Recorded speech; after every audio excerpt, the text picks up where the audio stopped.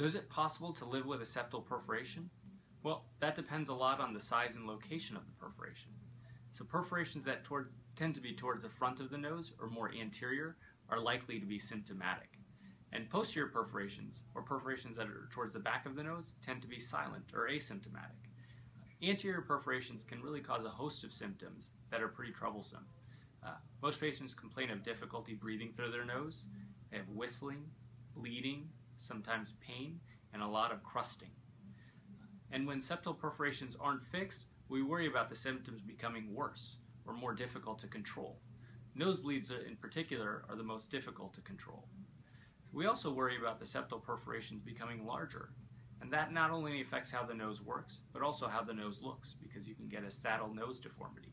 So if you're worried about your perforation, come on in.